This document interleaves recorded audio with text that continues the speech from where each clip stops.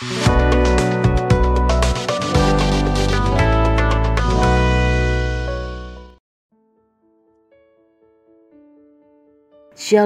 selamat pagi Bapak Ibu kekasih Tuhan.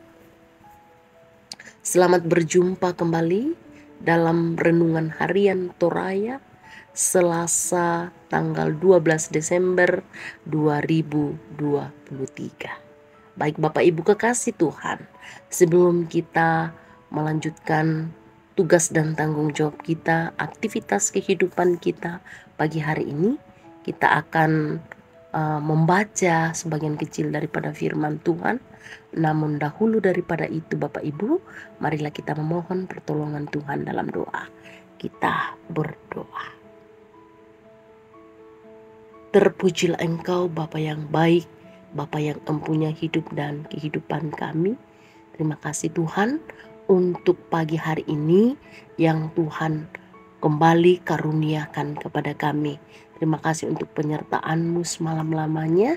Tuhan sudah boleh menolong menyertai kami dalam peristirahatan kami.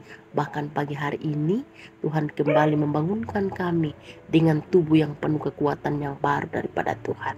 Sebelum kami melakukan aktivitas hidup kami Tuhan, kami hendak membaca firman-Mu. Tuhan berkati kami, biarlah firman-Mu yang akan kami baca, kami dapat pahami semua oleh karena kasih dan tuntunan Roh Kudus. Terima kasih Tuhan, ini doa kami. Dalam nama Yesus kami datang kepada Amin. Bapak Ibu kekasih Tuhan, firman Tuhan yang akan kita baca pada pagi hari ini telah diambil dari Kisah Para Rasul pasal 11 ayat yang pertama hingga ayat yang ke-18. Bunyi firman Tuhan demikian. Petrus mempertanggungjawabkan baptisan Cornelius di Yerusalem. Rasul-rasul dan saudara-saudara di Yudea mendengar bahwa bangsa-bangsa lain juga menerima firman Allah. Ketika Petrus tiba di Yerusalem, orang-orang dari golongan bersunat berselisih pendapat dengan dia.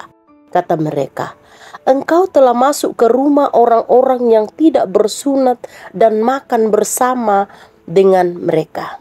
Tetapi Petrus menjelaskan segala sesuatu berturut-turut katanya, Aku sedang berdoa di kota Yope Tiba-tiba rohku diliputi kuasa ilahi dan aku melihat suatu penglihatan, suatu benda berbentuk kain lebar yang bergantung pada keempat sudutnya diturunkan dari langit sampai di depanku.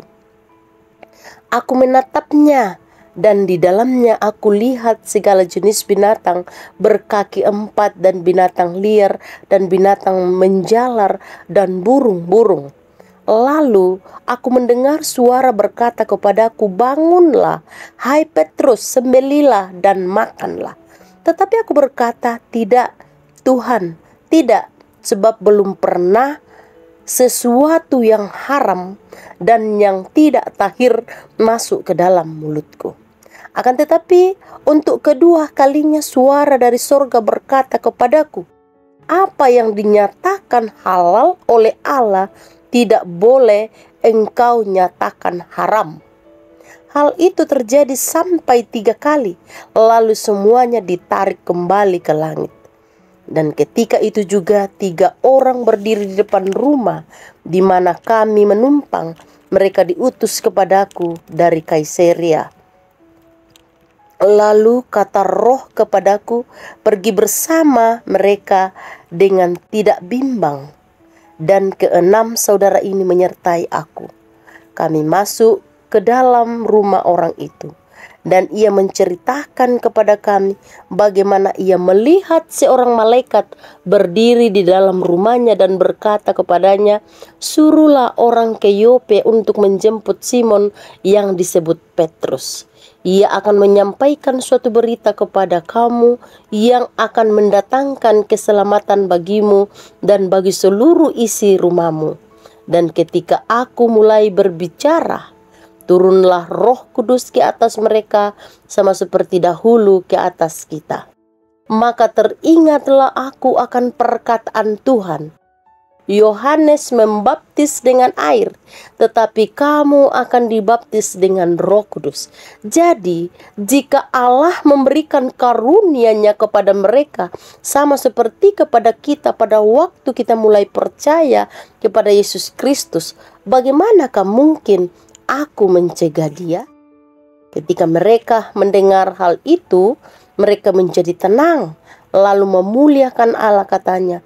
Jadi kepada bangsa-bangsa lain juga Allah mengaruniakan pertobatan yang memimpin kepada hidup. Amin firman Tuhan. Bapak Ibu Saudara-saudara, judul perenungan kita hari ini bukan soal makanan. Bukan soal makanan Jauh sebelum larangan dunia kedokteran ihwal makan dijadikan referensi oleh masyarakat mengenai kesehatan, dunia Alkitab banyak berbicara mengenai makanan haram dan halal. Perjanjian lama banyak berujar mengenai larangan terhadap hewan yang tidak boleh disantap. Beberapa tradisi gereja pun turut melestarikan aturan-aturan mengenai makanan tersebut. Pembacaan kita hari ini menyinggung hal tersebut di atas. Kisahnya dimulai ketika Petrus menuai protes dari orang-orang Yahudi yang merasa diri sebagai orang-orang bersunat. Sebab Petrus bergaul bahkan masuk ke rumah orang-orang non-Yahudi dan makan bersama. Hal itu dianggap sebagai pelanggaran terhadap Taurat. Petrus pun berkesempatan menjelaskan mengapa ia melakukannya. Ia menceritakan pengalaman spiritualnya di Yope Allah memperlihatkan kepadanya kain lebar yang bergantung pada keempat sudutnya diturunkan dari langit. Di sana, Petrus melihat segala jenis binatang berkaki empat dan binatang liar dan binatang menjalar dan burung-burung. Lalu Allah menyuruhnya menyembeli dan memakannya. Tentu saja, Petrus menolak dengan alasan bahwa jenis binatang itu pantang atau haram untuk dimakan. Akan tetapi, dalam penglihatan itu, terdengar suara Tuhan menyatakan menegaskan bahwa apa yang dinyatakan halal oleh Allah tidak boleh dianggap haram oleh manusia.